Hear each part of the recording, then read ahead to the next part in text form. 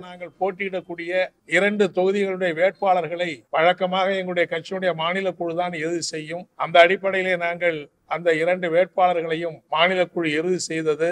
அதனுடைய அந்த இரண்டு பேருடைய பெயர்களையும் மத்திய குழுவிற்கு நாங்கள் அனுப்பித்தோம். இந்த காலை என்னுடைய கட்சியினுடைய அகில இந்திய பொதுச் செயலாளர் நீங்கள் தேர்வு செய்யப்பட்டிருக்கிற வேட்பாளர்களுக்கு மத்திய குழு ஒப்புதல் வழங்குகிறது என்பதோடு நாளை வெளியிடக்கூடிய இந்தியா முழுவதும் வெளியிடக்கூடிய பட்டியலோடு அந்த பட்டியலும் சேர்ந்து வெளியிடப்படும் என்கிற தகவலையும் தெரிவித்திருக்கிறார் என்பதை இந்த நேரத்தில் தெரிவித்துக் கொண்டு அந்த இரண்டு வேட்பாளர்களை பொறுத்தவரையில் கோயம்புத்தூர் நாடாளுமன்ற தொகுதியில் போட்டியிடுவதற்கு கோயம்புத்தூர் தொகுதியினுடைய முன்னாள் நாடாளுமன்ற உறுப்பினராக பணியாற்றி மார்க்சிஸ்ட் கம்யூனிஸ்ட் கட்சியிலே கடந்த நாற்பத்தைந்து ஐம்பது ஆண்டுகளுக்கு மேல பணியாற்றி வருகிற தோழர் பி ஆர் நடராஜன் அவர்கள் கோவை நாடாளுமன்ற தொகுதியினுடைய வேட்பாளராகவும் அதே போல மதுரை நாடாளுமன்ற தொகுதி வேட்பாளராக தமிழ் மொழிக்காக தமிழ் பண்பாடு கலாச்சாரத்துக்காக தொடர்ந்து குரல் எழுப்பி வருகிறவர். ஏற்கனவே காவல் கோட்டம் என்கிற நாவலுக்கு சாகித்ய அகாடமி விருது பெற்றிருக்கிறவர். சமீபத்திலே ஆனந்த விகடன் பத்திரிகையிலே தொடராக வந்து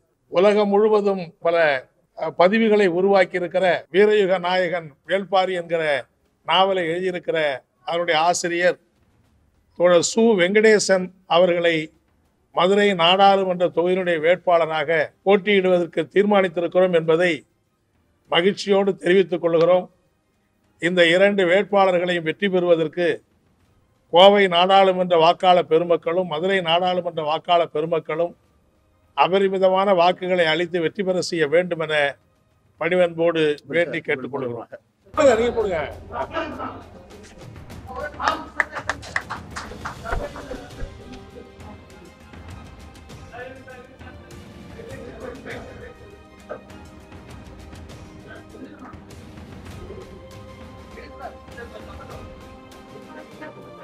நீங்க போடுங்க நீங்க அந்தாண்ட விட்டுருங்க. அப்புறம் ரெண்டு வேட்பாளர்கள்